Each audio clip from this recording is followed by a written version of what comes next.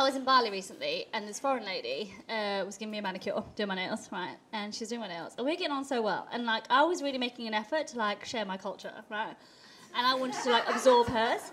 So she was there, and she was like, Luisa, I had an arranged marriage at 18. I've been happily married for 25 years. And I'm like, oh my gosh, that is so precious because I lost my virginity to a chair leg at the age of 12. So we were just sharing cultures, right? She was giving me the best of like Bali, and I was like, Marta, Just, ah, just sharing cultures. Anyway, this bitch is doing my nails, right? And we're getting on really well. And I'm like, Brexit, it, what? and, uh, and somebody was like, that's not even in Europe. And I'm like, hmm, that's your face, mate. So anyway, she's doing my nails. Um, that's my political commentary for you. Um, she's doing my nails. And we're getting on really well, right? And I don't know if you've had this experience. Halfway through doing my manicure, we're talking about loads of stuff. She goes, Luisa, I must tell you something. I'm like, yeah. She's like, I hate the gays.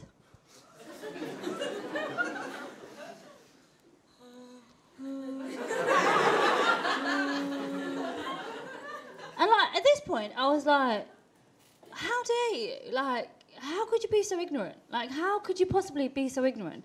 Like, you're a beautiful young woman. You've obviously been ar- around for a long time because you know you do nails. Like, how how could you be so? And I, I wanted to tell her all about herself, and I wanted to have a go at her and be like, who do you think you are? Like, why don't you open your mind and learn about other people? Why don't you realize how beautiful people are, especially in their differences? Gay is fucking beautiful, mate. Like, you're a dick, and I wanted to tell her all about herself. And then I thought, well, hang on, Luisa. Do you know what? What would your gay best friend say? And I thought, what would my gay best friend say? Well, my gay best friend would be like, babe. She's only done one hand, so. yeah, awful. Oh, awful.